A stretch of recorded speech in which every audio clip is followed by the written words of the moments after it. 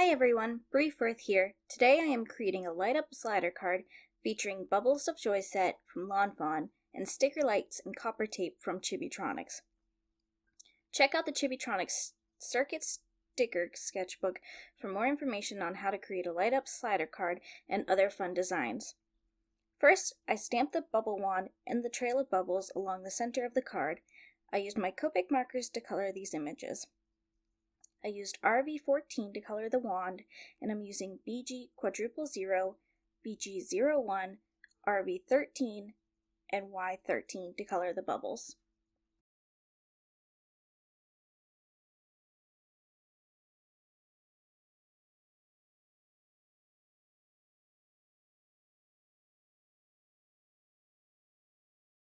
The large bubble towards the top of the card is where I'm going to be placing my battery holder and it's where I'm going to be placing a push here button.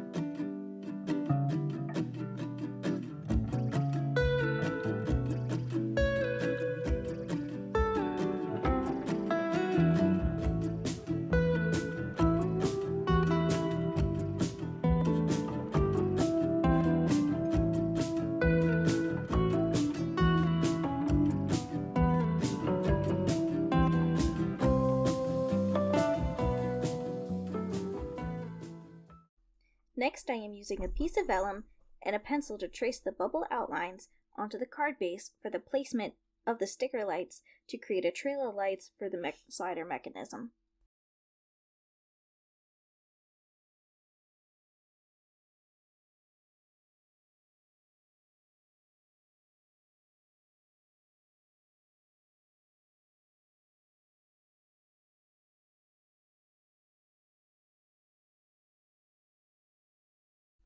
On the card base, I have already drawn the placement of the battery holder as well as the lines to connect the slider mechanism along the fold. First, I am tracing the opening and the bubble wand onto the card base to start lining up the bubble trail of lights. Now I am tracing the center of the vellum circles onto the card base to mark the placement of the sticker lights for the light trail.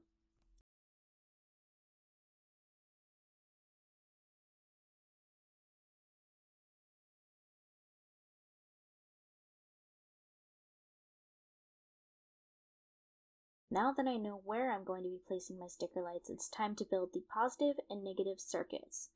I am starting by creating the positive circuit, which is going to run down to the slider mechanism within the fold. For the slider mechanism to work, the positive copper tape will not connect to the sticker lights until it is pressed down along the fold.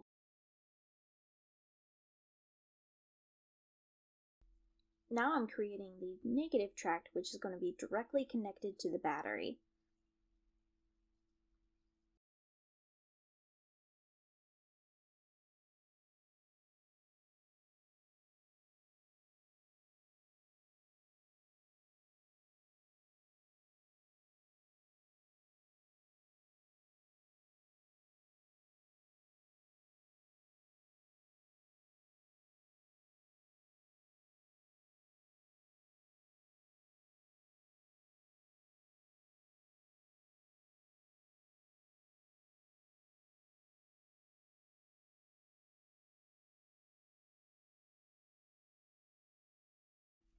After creating the circuit paths with a pencil, I'm going to go over those pencil lines with copper tape to create the positive and negative circuits.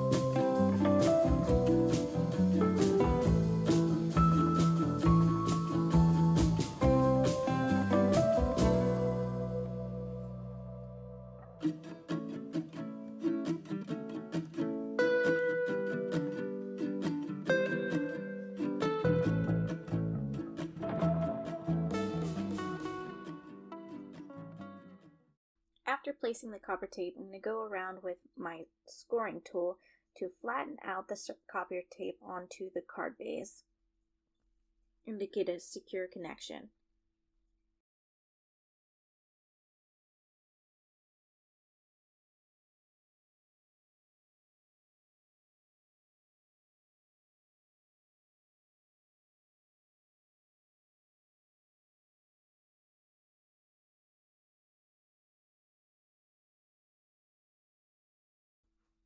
Now that the copper tape is placed, I'm going to stick the white sticker lights in between the positive and negative circuits.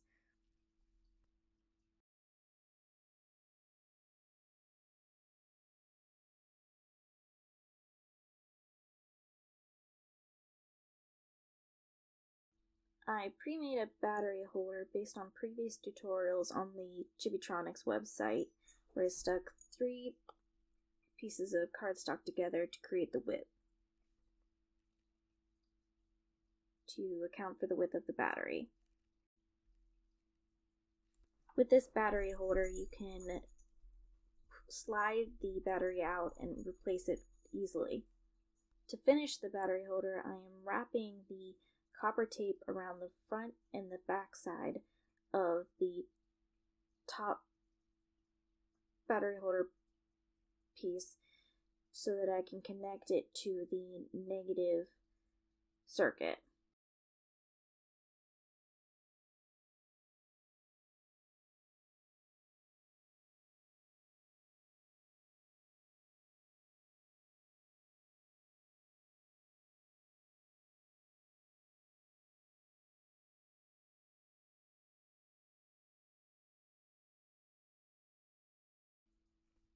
Now I can place my final sticker light.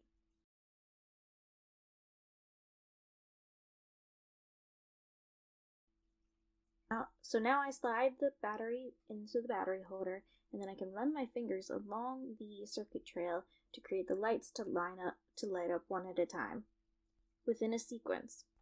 Now that we're finished building the circuit, I'm going to go ahead and finish designing the card front. I'm using some Gina K Masking Magic paper, sticker paper, to cover the pre-colored bubbles so that I can ink blend onto the card front.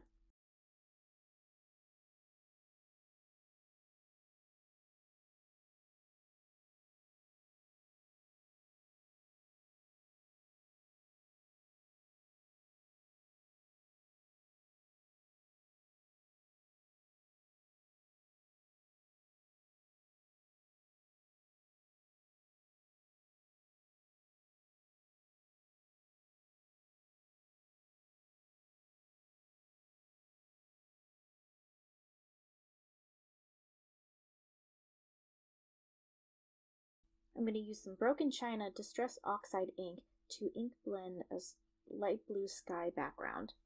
Be careful that when you're ink blending that you don't peel the masking magic tape up when you're going over those areas.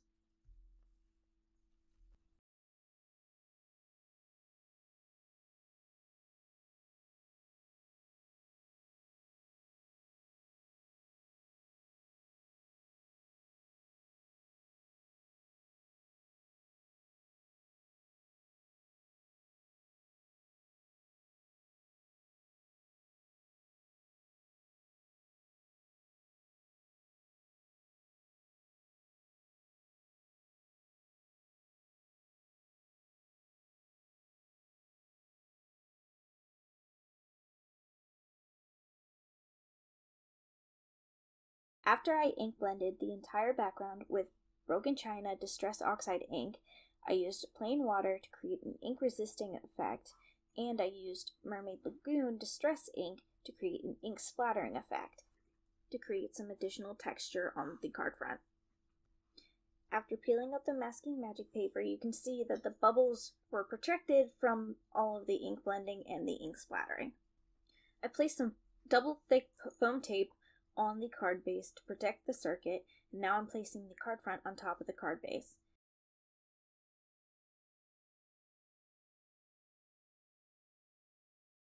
So you can see now, if when I run my finger along the light up mechanism, it creates the light sequence.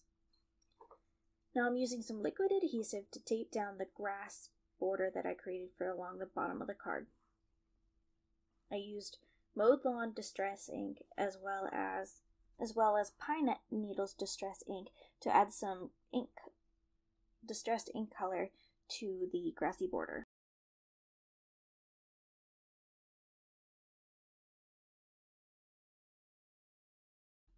I used the Lawn Fawn Push Here stamp set to create the Press Me and Arrow button that I stamped with pigment black ink. This way the recipient knows to press on the big bubble and run the, their finger along the grassy border edge. I placed the mice as well as the other decorative items onto the card, and then I also added a blow bubbles banner to finish off the card. And there you have it. It's a light up slider card featuring Chibitronics white sticker lights and copy, copper tape with Lawn Fawn blow bubbles set that reads When life gives you troubles, blow bubbles. Thank you for watching my video tutorial. Hope you come back soon for more crafty inspiration.